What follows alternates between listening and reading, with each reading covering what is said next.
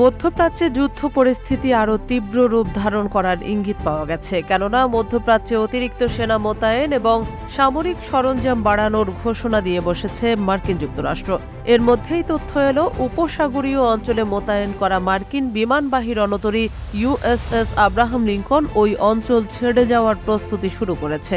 USS Abraham লিঙ্কনের ওই অঞ্চল ছেড়ে যাওয়ার সময় মধ্যপ্রাচ্যে মার্কিন বি ফিফটি টু বোমারু বিমান, জ্বালানি বিমান ও নৌবাহিনীর বিমান বিধ্বংসী ডেস্ট্রয়ার মোতায়েন করতে যাচ্ছে যুক্তরাষ্ট্র। গাজা যুদ্ধ শুরু হওয়ার পর থেকেই দখলদার ইসরায়েলি সামরিক বাহিনীকে সর্বাত্মক সহযোগিতা দিয়ে আসতে দেখা গেছে দেশটির সর্বঘনিষ্ঠ মিত্র মার্কিন যুক্তরাষ্ট্রকে। বিগত এক বছর ধরে চলমান এই যুদ্ধে ইসরায়েল টিকেই আছে যুক্তরাষ্ট্র ও পশ্চিমা মিত্রদের হাত ধরে। এরই ধারাবাহিকতায় এবার ইসরায়েলকে যুদ্ধ জয়ের পথ সুগম করে দিতে যুক্তরাষ্ট্র বোমারু বিমান ও ক্ষেপণাস্ত্র বিধ্বংসী সরঞ্জাম পাঠানোর সিদ্ধান্ত নিল।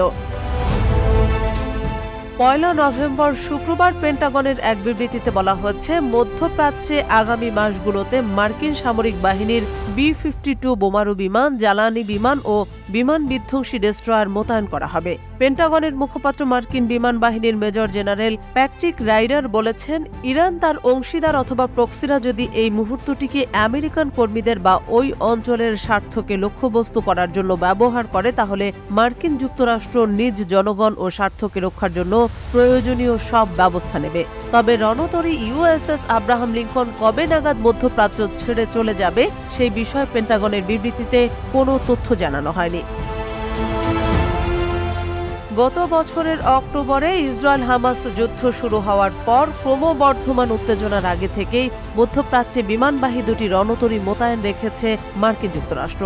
দেশটির বিমানবাহী রণতরী ইউএসএস আব্রাহাম লিঙ্কনের প্রত্যাহারে ওই অঞ্চলে নতুন করে রণতরী মোতায়েন না করা পর্যন্ত বিমানবাহী রণতরীর শূন্যতা তৈরি করবে।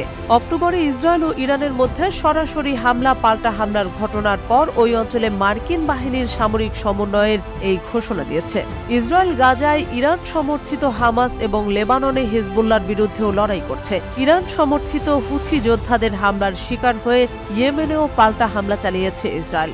সিরিয়া, ইরাক, জর্ডান এবং ইয়েমেন উপকূল থেকে ইরান সমর্থিত গোষ্ঠীগুলোর হামলা থেকে ইসরায়েল ও মধ্যপ্রাচ্যে মার্কিন বাহিনীকে রক্ষার অঙ্গীকার করেছে মার্কিন যুক্তরাষ্ট্র।